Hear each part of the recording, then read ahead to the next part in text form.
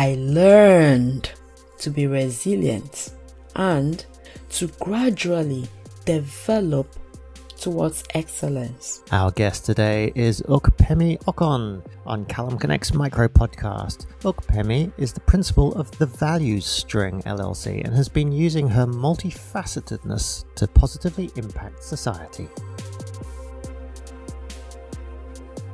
Greetings. My name is Ukpeme Akpan Okon. As an entrepreneur, I experienced difficulties raising funds for my business. I surmounted these difficulties by finding various funding sources, using non financial resources to grow my business, and making positive impacts in society.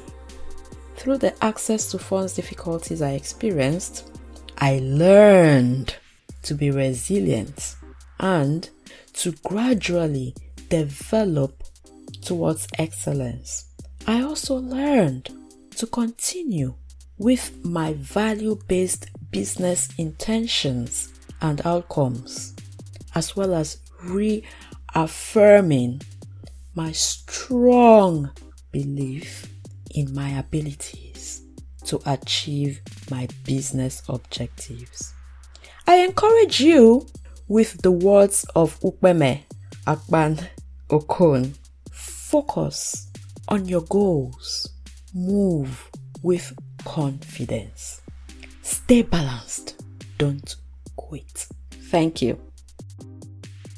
If you enjoyed this podcast and would like to find more inspiring information about entrepreneurs around the world doing incredible things, make your way to enterprisezone.cc